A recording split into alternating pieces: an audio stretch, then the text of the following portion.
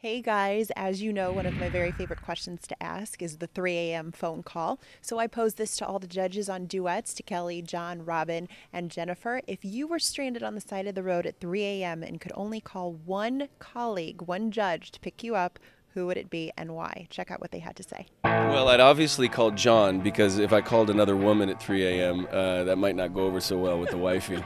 So I'm going to have to go with John on that one. I'm gonna call Jennifer. She seems very responsible, and she's just she seems like she's she didn't know what to do. Yeah. And and not that everybody else wouldn't, but Would you be able to rescue someone if they called you at 3 a.m.? Because someone said they, they weren't sure if you would actually answer the phone at 3.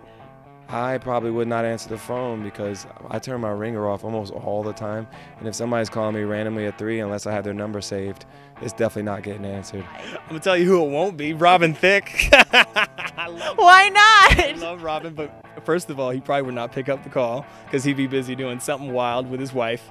I don't know. I'm just speculating on their amazing sex life. It would be Jennifer.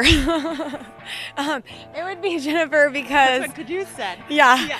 Because I don't know if the other two would find me. I don't know. The other two, I don't know. I feel like Jennifer would be avidly searching. but yeah, no, I love them all, but I'd probably call Jennifer. colleague. So, so who would you who would you choose? Um, well, Kelly or or Jennifer. I think John would be too busy, and I think that I think that Jennifer, um, she she she'd be sweet about it, and Kelly would be sweet about it too. I would probably pick Kelly.